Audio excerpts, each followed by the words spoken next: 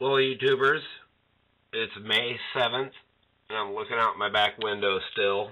It's about 10 feet deep there. I'm on the second story, and it's snowing like crazy. I can't believe it. I'll show you out the front. Check it out.